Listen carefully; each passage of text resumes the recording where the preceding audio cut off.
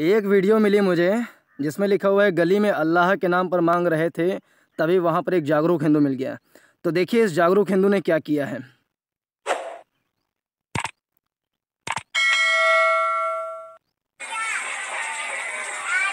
कहाँ से आए हो भाई? कहाँ से आए हो? महबूब की गली में? कौन, मुसलमान हो? तो काफिरों को मोहल्ले में क्या कर रहे हो? पकड़ तुम्हारे कुरान में लिखा है काफिरों से दूर रहो। क्या? ये पहली बात तो जो ये कह रहे हैं कि कुरान में लिखा हुआ है कि काफिरों से दूर रहो तो ऐसी बातें लिखी हुई हैं, ठीक है? कुरान में लिखा हुआ है कि काफिरों से दूर रहो।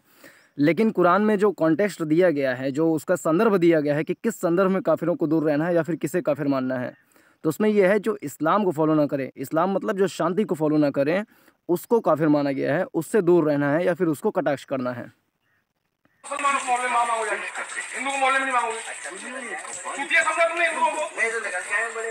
निकलो। मुसलमानों से मांगो तुम्हारे तुम्हारे यहाँ तुम्हारे इस्लाम में काफिर हिंदुओं को काफिर बोला गया है। पता है तुमको? ये जो स्टेटमेंट इनका है कि इस्लाम में यानी कि कुरान में हिंदुओं को काफिर कहा गया है ये पूरी तरीके से गलत है। क्योंकि जहाँ पर कुरान का लेखन किया जा रहा था या फिर अभी तो ये बात ज्ञात नहीं है कि कुरान का लेखन किसने किया है, ये मानी जाती है एक दैवीय पुस्तक है जो कि आसमान से उतर उतर करके आई है। तो उसमें हिंदू शब्द का कहीं प्रयोग किया ही नहीं गया, काफिर शब्द का प्रयोग किया गया, लेकिन हिंदू काफिर हैं, ऐसा कुरान में या इस्लाम में बात नहीं कही गई है तो बात आपके हम तो कह नहीं रहे बड़े भाई आपको तो मुझे काम है और सभी से आपके काम है तुम्हारे तुम्हारे इस्लाम तुम्हें मतलब तुम्हें रोटी चाहिए हिंदुओं के मोहल्ले से। और गाली हिंदुओं को दोगे? तो गाली तो काफिर क्या है? काफिर शब्द क्या है? हम जानते नहीं काफिर क्या होता है। तो ये काय टोपी लगाए हो? तू काय का आपके मोहल्ले में बड़े भाई मतलब वो जो है वो काफिर का मतलब नहीं जानता है। अगर वो टोपी लगाया है अपने इस्लाम धर्म को फॉलो कर रहा है तो क्या वो गुनाह कर दे रहा है? मतलब ये जागरूक हिंदू हैं तो क्या इनकी गली में कोई आ जाएगा टोपी लगा करके तो उसको भगा देंगे ऐसे? क्या इसको जागरूक हिंदू माना जाएगा तुम्हें मुसलमानों के मोहल्ले में जाओ चलो इधर से निकलो ये गली आगे से निकलो और हिंदू को मोहल्ले में दिखनी है ना पूरा वीडियो चलाऊँगा अच्छा अच्छा नहीं पूरा वीडियो चलाऊँगा तो नहीं मांगे हम निकल गए नहीं है हिंदू नहीं तो हम निकल गए आप निकलो निकलो यहाँ से कोई हिंदू नहीं देगा नहीं नहीं तो आपकी बात सही हम निकल गए और पैसा कहाँ जाता है सब खाते हैं बड़े भाई बच्चे कौन से खाते हैं बच्चे नहीं खाते हम भी खाते नहीं नहीं बच्चे तो अपने कौन से मांगो ना तो है राम राम बेगा राम ओम कृष्ण ओम राम ओम कृष्ण ओम तुम्हारे इस्लाम में हिंदू देवी देव- देवताओं को गाली दी जाती है और तुम हिंदुओं से मांगने चले आए। हर एक बार जय। जाओ मुसलमानों से मांगो इस गली से निकल जाओ और दिखना नहीं हिंदुओं को मुसलमानों की बहुत बड़ी आबादी वही मांगो। इस गली से निकलो सीधे। इधर जाओ।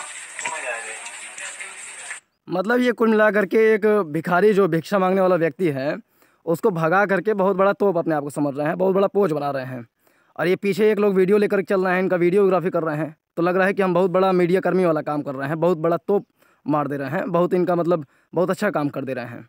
लेकिन ये दरअसल अपना ही नाक कटा रहे हैं और जो हिंदू हिंदू बोल रहे हैं, ये एक तरीके से हिंदू का ही बदनामी कर रहे हैं। ये कोई हिंदू का काम नहीं है, क्योंकि अगर उसके यहाँ पर कोई आता है, भिक्षा मांगने के लिए आता है तो उसको बड़े आदर से, क्योंकि हिंदू में जो मेहमान होते हैं, उनको भगवान की संज्ञा दी जाती है। ये एक तरीके से, वो चाहे जिस धर्म के रहें, वो चाहे जिस मज़हब को मानते हो, लेकिन वो अगर तुम्हारे द्वार पर आए हैं, तुमसे अगर भिक्षावृत्ति मांग रहे हैं तो उनको देना चाहिए। लेकिन उसको इस तरीके से अपमानित करके भगाना, ये हिंदुओं के धर्म में शोभा नहीं देता है। लेकिन ये उसी का जो है, चोला ओढ़ करके हिंदू हिंदू बार बार कह रहे हैं, दरअसल ये हिंदू को बचा नहीं उसको बदनाम करने का प्रयास कर रहे हैं।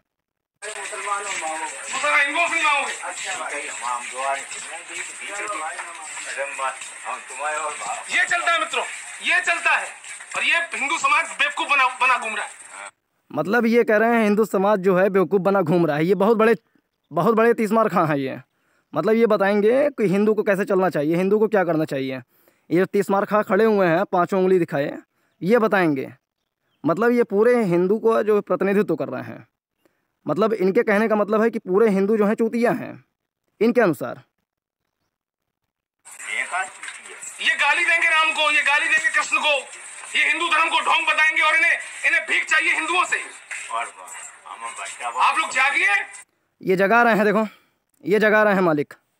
जागिए। आप सब जागिए अभी सो रहे हैं। आप सब जो हैं ठंडी लग रही है बहुत ज़्यादा। कंबल ओढ़कर सो रहे हैं। आप लोग जागिए और इनसे जाकर थोड़ा ज्ञान लीजिए कि कैसे अगर आपके द्वार पर कोई आए तो उसको कैसे भगा देना है। तो थोड़ा जागिए भैया। इनकी नौटंकी बंद कराइए। दक्षिणा करना है तो अपने हिंदू संतों को करिए हिंदू मंदिरों में करिए। मतलब अगर आपसे आपके घर में कोई आएगा दान दक्षिणा मांगने के लिए तो सबसे पहले आप उससे पूछो भैया आपका नाम राम है कि रहीम है? जब कहेगा रहीम है तो दुर्राय के भगा देना। और जब कहेगा नहीं राम है तो उसको दे देना है तो दान जो है अब चेहरा देख करके और धर्म देख करके दिया जाएगा। तो ये जागरूक हिंदू हैं इनसे थोड़ा सीखिए। ये इस्लाम के नाम पर ये ढोंग फैलाने वाले लोग जो आते हैं और हम हिंदुओं को ही बेवकूफ़ बनाते हैं इनसे सावधान रहिए। बहुत बहुत धन्यवाद। अब मेरा तो मानना है कि इन जैसे व्यक्तियों से सावधान रहिए, नहीं तो सांप्रदायिकता जो है, वो जड़ तक घुस जाएगी, किसी सभी के अंदर में, समाज के अंदर में जड़ तक घुस जाएगी। और सांप्रदायिक दंगे हमारे ऐतिहासिक जो परिप्रेक्ष्य में अगर देखा जाए, चाहे स्वतंत्रता संग्राम में देखा जाए या किसी भी परिप्रेक्ष्य में देखा जाए, चाहे अभी सी ए का कानून एन कानून, कोई भी कानून आता है तो उसमें सांप्रदायिक दंगे ऐसे ही लोग जो हैं फैलाते हैं, तब जाकर के आसाम जलता है, तब जाकर के पश्चिम बंगाल जलता है, तब जाकर के बम्बई और दिल्ली जलता है। तो इन लोगों से सावधान रहिए। नमस्कार।